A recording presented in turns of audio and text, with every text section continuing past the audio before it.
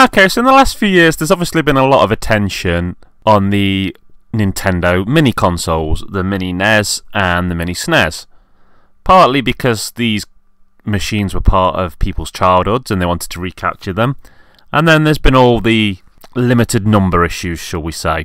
They're not the only people to jump into the market.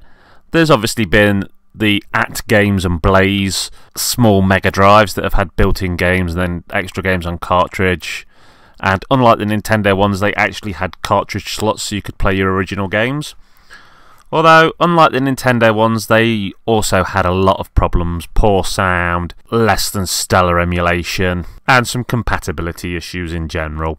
We've had a, I think, at least two mini Spectrums, a mini Commodore 64, and now we're about to get a mini Neo Geo.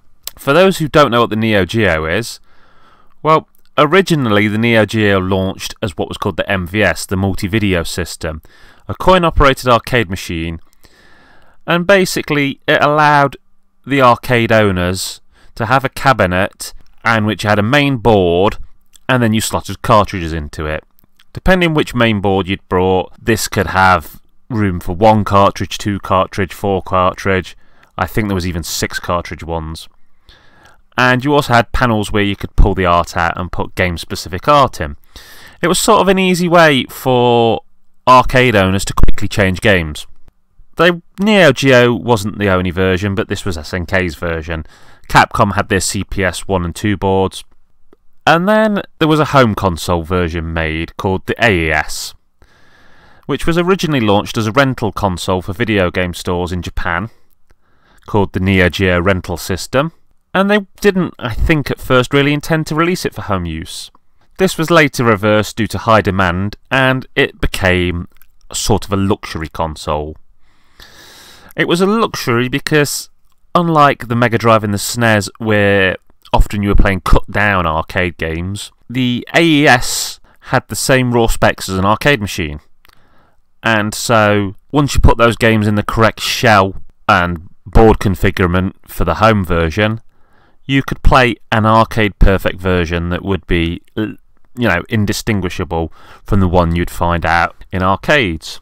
This isn't the first time that we're going to get a sort of new Neo Geo. I, I struggle to call it a mini because it was big, but there was the Neo Geo X, which was a handheld console, but then it slotted into a case that made it look like a real Neo Geo but apparently there was a lot of issues with that to the extent that the people SNK had got to make the system. They asked them to stop making it.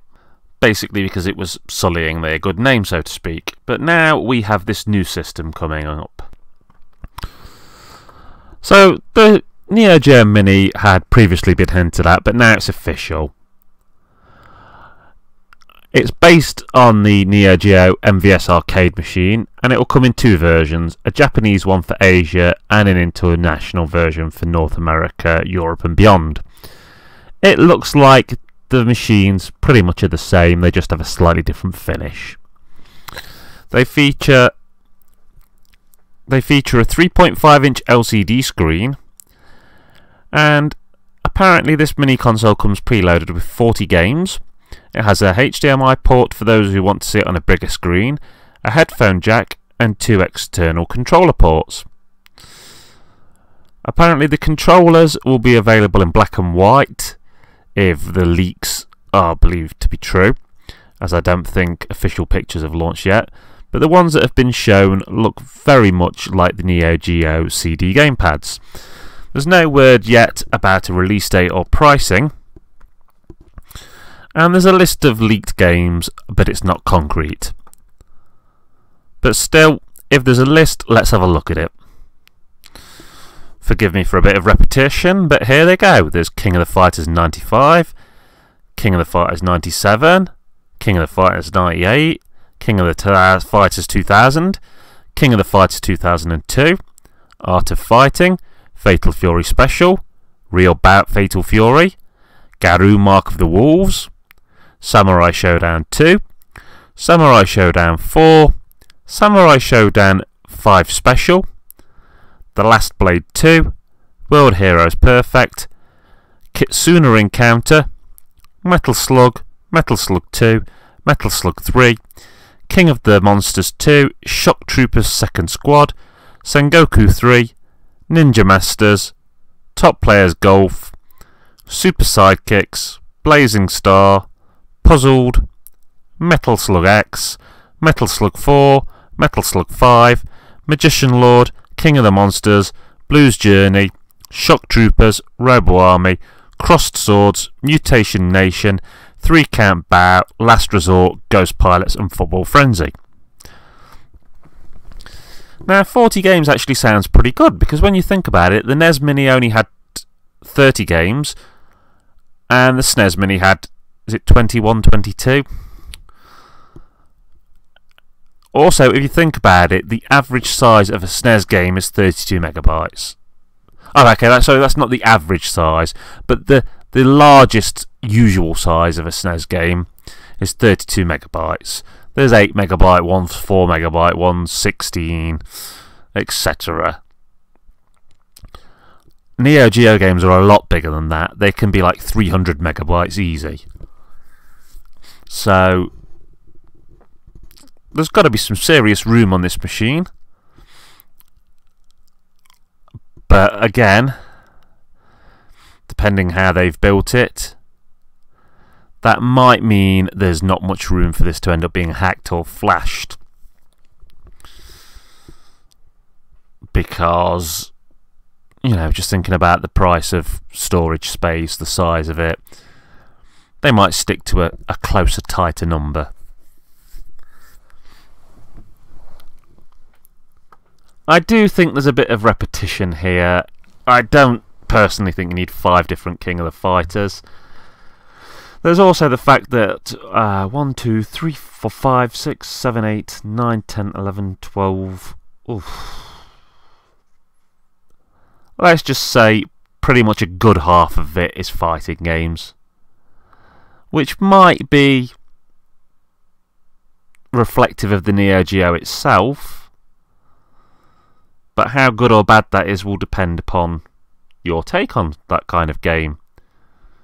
And there is a lot of repetition because, don't get me wrong, I love Metal Slug, but having six different Metal Slugs, again, you know, you imagine you don't like that side scrolling shooter, then that's six games that don't appeal to you. I personally would have rather seen Art of Fighting 2 or 3 instead of the first one or in place of a couple of King of Fighters. Puzzle Bobble would have been nice, but clearly there's licenses with that. I also would have liked World League Bowling or Baseball 2020 because while those games have a warm place in my heart, I actually owned an AES for a very short period of time, and Baseball 2020 was one of five games I had for it. I guess it's hard to rate this machine at the moment because we don't know the price you can look at other things and guesstimate a price. You know, I know some people are going to be wanting it to be in the 60 to 80 pounds price range that a mini SNES, NES kind of are. I don't see that myself with the screen. You know, I think bare minimum it's going to be 100 quid. I, I could be totally proved wrong here.